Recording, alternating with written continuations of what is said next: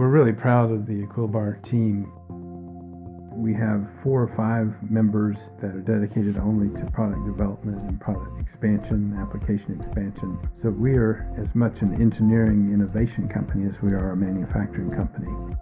Our most exciting projects are the ones where we're able to push our technology into a new place. And so that's a lot of the personalities that are attracted to work for Equilibar are the people who are excited by innovation.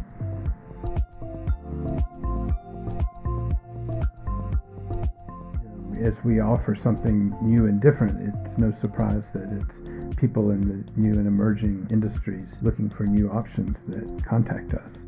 People, they're looking for something uh, just a little bit out of the ordinary. They, their problem is a little out of the ordinary. They're looking for a solution, and they they really are looking for a company that'll answer their questions and treat them with respect.